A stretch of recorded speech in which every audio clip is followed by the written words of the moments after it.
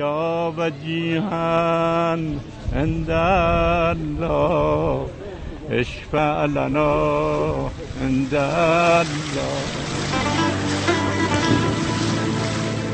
در شبهای پربرکت ماه رمضان دل به حریم یار بستیم و نایب و زیاره شدیم. السلام علیک یا علی بن موسی یا غریب القربا یا معین الضعفا. به گوش و کنار قطعه ای از بهشت که نگاه کنی درهای بسته را می‌بینی.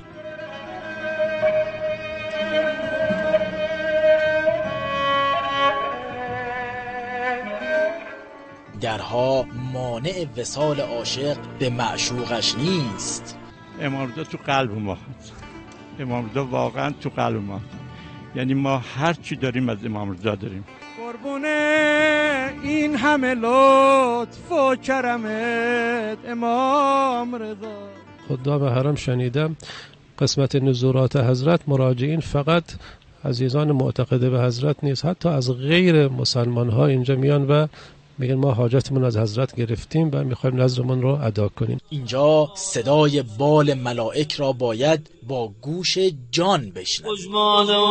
که میان اینجا پرواز می‌کنن.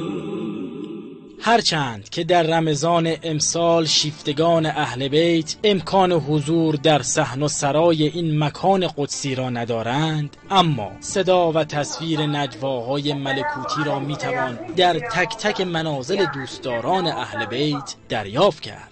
از همینجا به حرم امام رضا سلام میدم. السلام علیک یا علی ابن موسی رضا.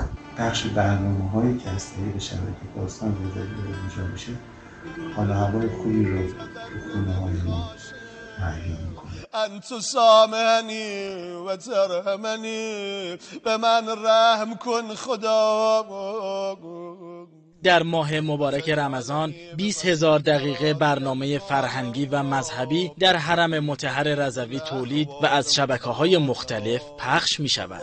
عمده برنامه ها در بخش سهرگاهی چهار مناجات رو از شبکه های یک دو افق و خراسان رضوی پخش می‌کنه. برنامه های ترتیل یک جز قرآن کریم برگزار میشه. انتظارها به سر آمده ای امام رعوف همه مشتاق پابوسی در این آستان مبارک دست به دعا برمیداریم و از خودش گره گشایی می‌خواهیم. سعید قربانپور خبرگزاری صدا و سیما حرم متحر آقا علی ابن موسی رضا.